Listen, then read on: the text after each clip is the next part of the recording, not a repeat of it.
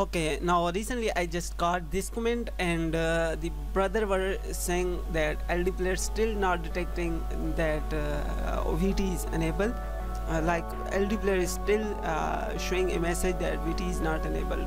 So if you are uh, if you have already followed the tutorial on how to enable vt but ld player detects that your vt virtualization that is uh, still disabled you need to check whether you have disabled the hardware assistant virtualization function in avast antivirus uncheck some windows features uh, some uh, windows features from windows pc and toggle of the core isolation.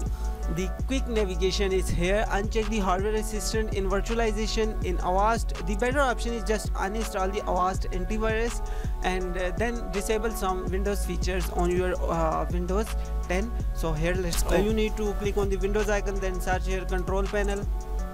In control panel you need to go uh, here uninstall a program. Now you can see here turn windows features on or off. Here you need to turn off or uncheck five uh, features. The first one is hyper-v. Just uncheck.